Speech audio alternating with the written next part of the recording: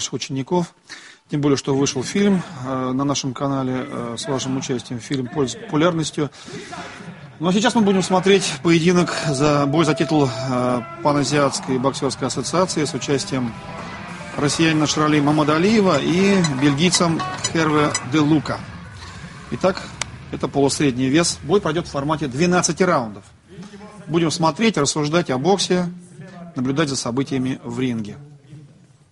Если только бой продлится, все отведенные для него 12 Но могу вам сказать, что бельгийские боксеры всегда очень упорные и очень подготовленные. Потому что мы боксировали э, в Брюсселе с Королевым за, этот бой.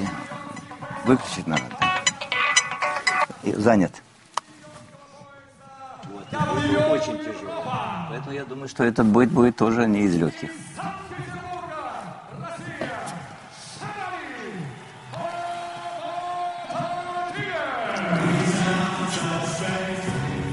Так, Шарали Мамадалиев, один из проспектов компании G Promotion.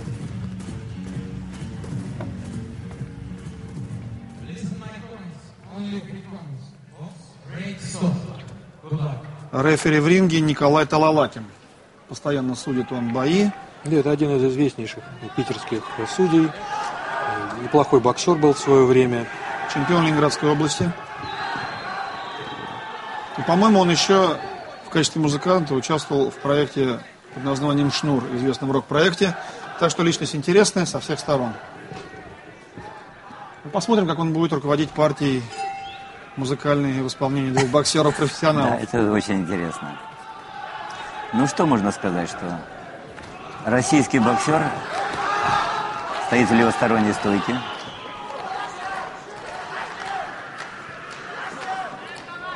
Поджимает противника, пытается лишить его пространства.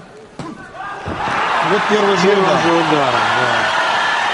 Я думаю, это боковой, нокаут. левый боковой, да, считаю, что это нокаут, потому что счет уже 6, он не встает.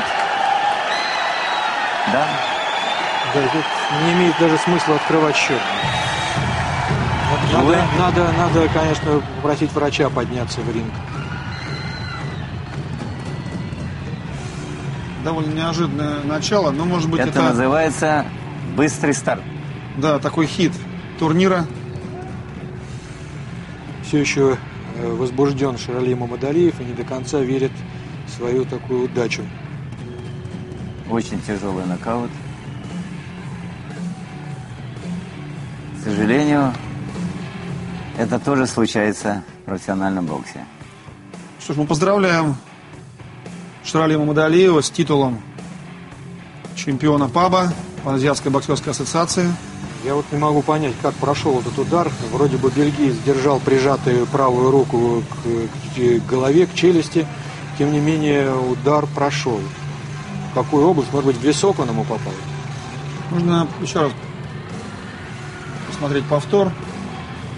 Это был резкий старт, выброс руки, прошедший защиту. Давайте посмотрим. Наметил дистанцию правой рукой и левой пробил. Да, даже через защиту, да? Через защит, Че- в обход, че- через, э, в обход. через руку. В обход правой руки. И в область бока- височной боковой, доли. да.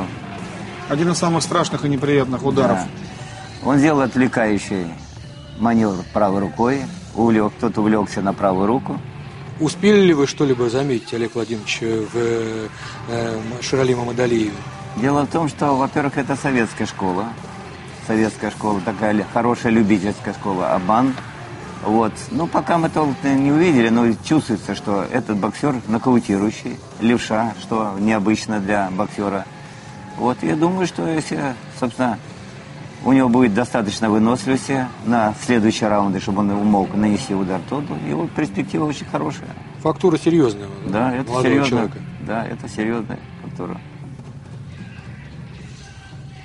Можно сказать, наказал он противника за то, что тот застоялся в углу, несмотря на начало боя. Э, Значит, нужно было как-то поработать корпусом, уйти из угла, выс- ус- ускользнуть от противника.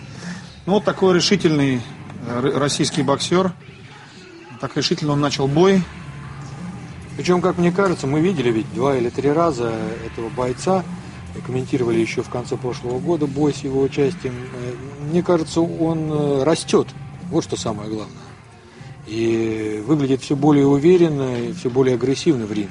Кстати, тот бой, который мы с вами, Илья, видели, как раз и был завершен благодаря мощным боковым ударам, выходом на ближнюю дистанцию. Была разведка правой, попытка прояснить эту дистанцию, затем выстрелы мощные с боковыми, которые, собственно, роняли на пол его противника. Есть статистика, около 40-50% всех нокаутов в боксе приходится на боковые удары, в частности, А на вот вы знаете, вот, левый вот крюк. можно посмотреть, чтобы вот бельгийский боксер делал тактическую ошибку. Смотрите. Он первое что? Надо было уходить было от правой руки за счет правой руки за правую сторону, и надо было не уходить в угол, а надо было сделать движение за счет левой руки уйти за правую руку. Все, он бы выскользнул и не его не запер бы в канате. Он делал именно такое чисто за счет волнения, именно тактическую ошибку, и за это поплатился.